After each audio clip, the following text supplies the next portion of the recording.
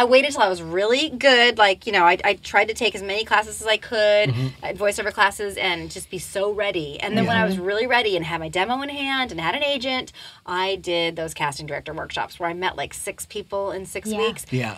For people that aren't good, it's a big waste of money because, it's like, Yeah, yeah. you're a bridge, I'm burning you this week, and then I'm paying to burn you this week. You know, I mean, it was just awful when Yeah. I Yeah. thought, like, Yeah. oh, they paid money and now this person's never going to take them seriously. Or people that were too new. They, they met the casting directors before they were really ready. They were Mm. good, but they didn't take any classes and they Mm-hmm. didn't really know what they were doing. And then the casting director's always going to think of them as that new person. Like, oh, they Right. were good, but they need, they need, they're green.